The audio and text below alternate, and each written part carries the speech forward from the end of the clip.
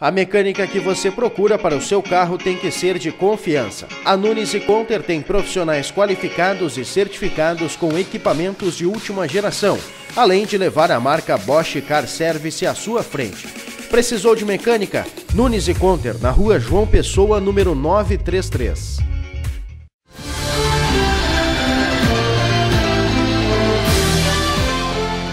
Segundo informações da Polícia Civil, um homem foi preso nesta sexta-feira em flagrante por ter roubado uma moto.